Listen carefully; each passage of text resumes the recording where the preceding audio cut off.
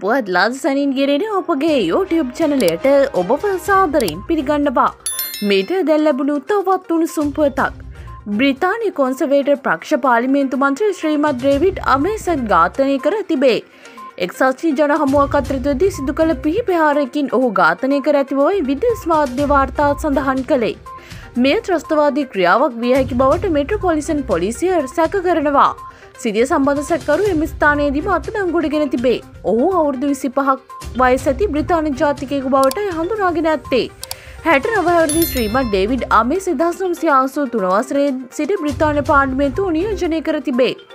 මෙවන් යුනිසුම් පුවත් ලල් සැනින්දන ගැනීම සඳහා අපගේ YouTube චනලය සබස්ක්‍රයිබ් කර බෙල් අයිකනය ක්‍රියාත්මක කරන්න.